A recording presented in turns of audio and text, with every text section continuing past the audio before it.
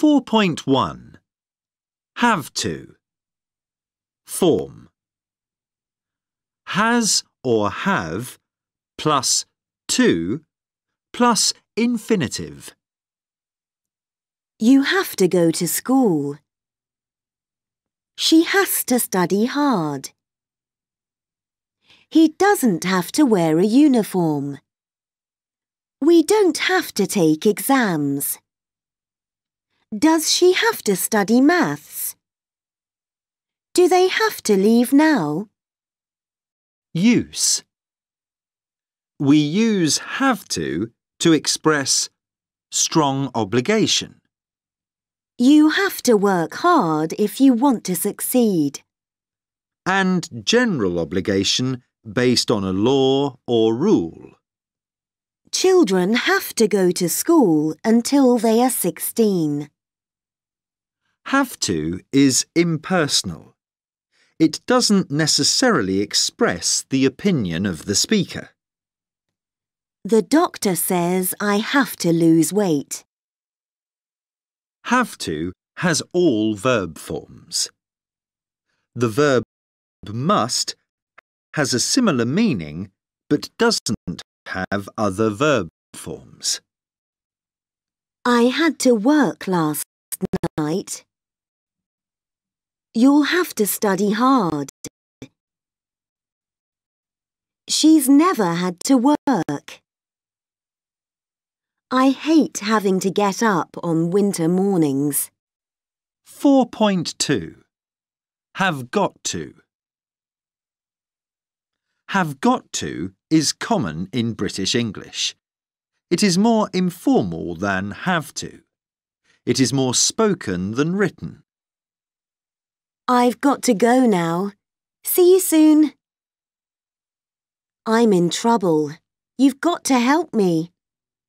Have got to expresses an obligation now or on a particular occasion soon. He's 21 now. He's got to learn to be more responsible. I usually start work at 9 o'clock. But tomorrow I've got to start work at 8 o'clock. Have to expresses a general repeated obligation. I always have to tell my parents where I'm going. Teachers have to prepare lessons and correct homework. 4.3 Modal and related verbs. These are the modal verbs. Can, could, may, might, will, would, shall, should, must, ought to. They are used before other verbs and add meanings such as certainty, possibility, obligation, ability, and permission. You must be exhausted.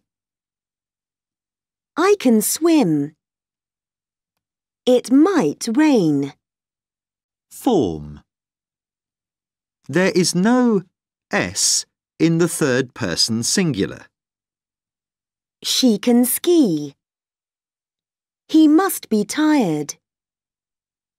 There is no do, does, don't, or doesn't in questions and negatives. He can't swim. What should I do? Most modal verbs are followed by the infinitive without to. The exception is ought to. You must go. You ought to see a doctor. They have no infinitive and no ing form. Other expressions are used instead. I'd love to be able to ski. I hate having to get up early. They don't usually have past forms. Instead, we use them with perfect infinitives.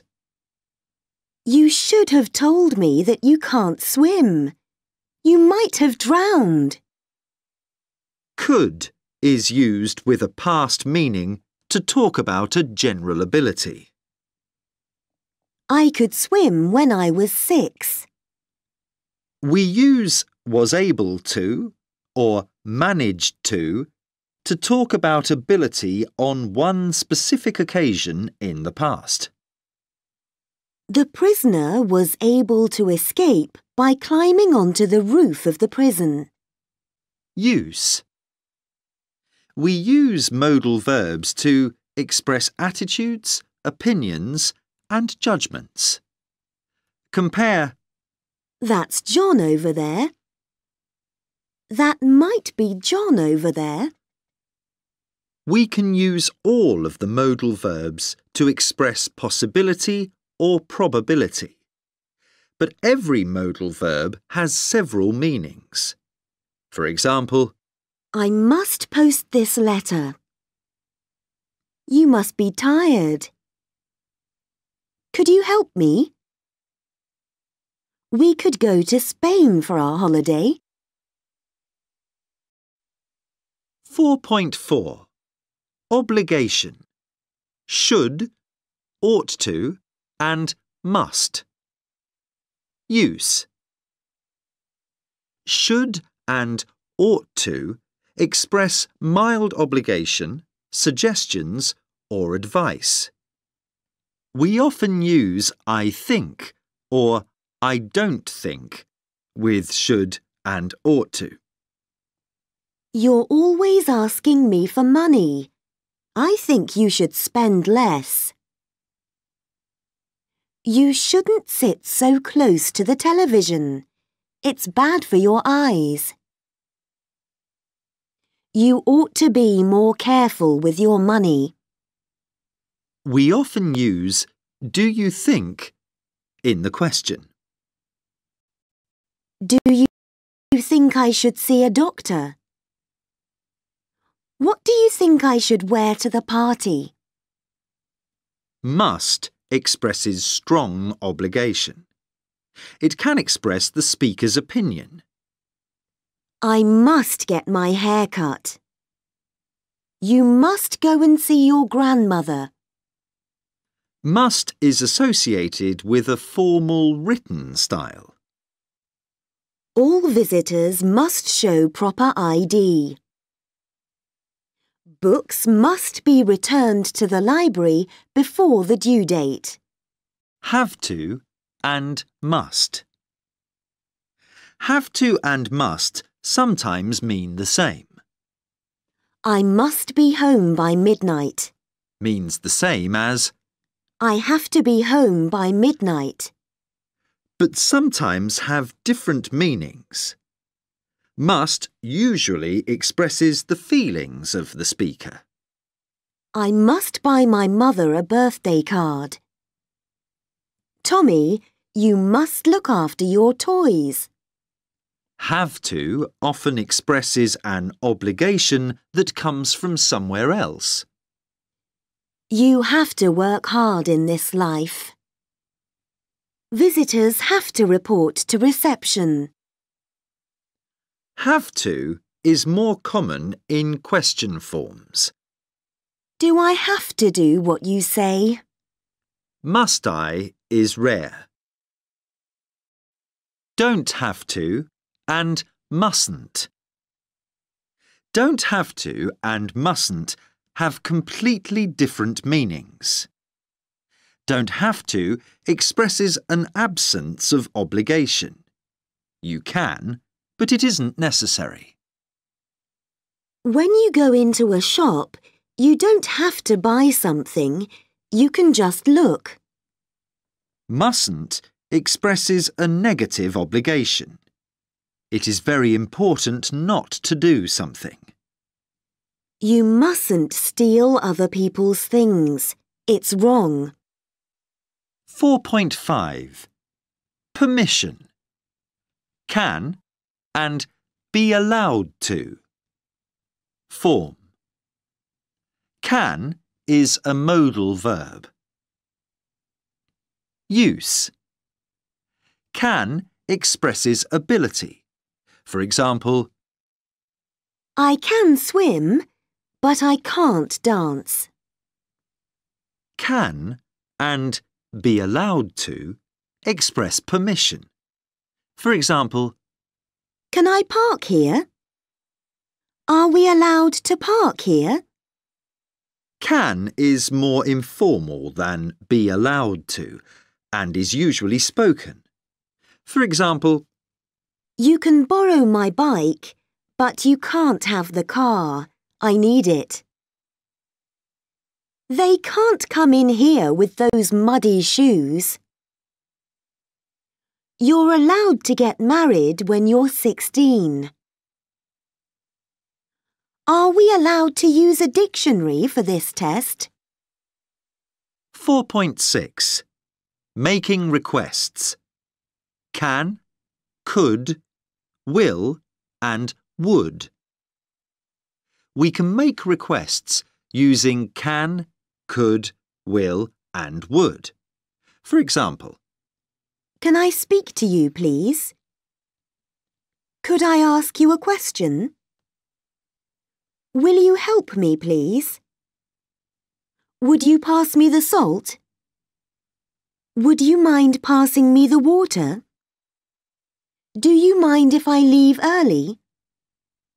could is a little more formal than can.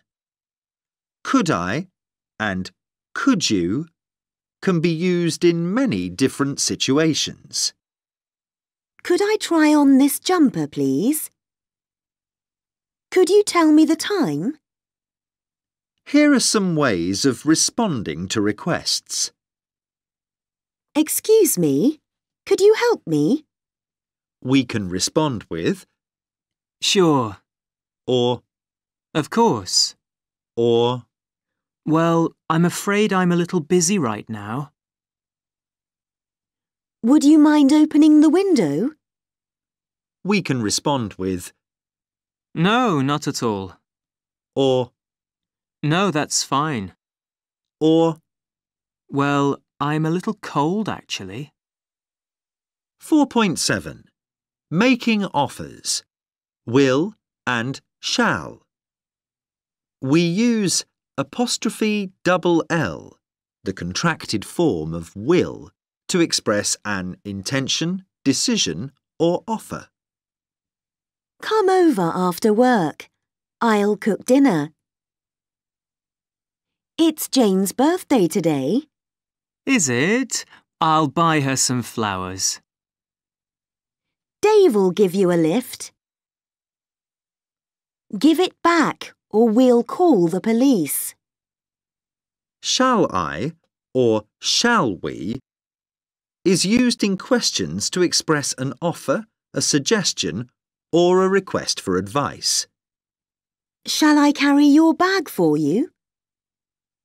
Shall we go out for a meal tonight? Where shall we go?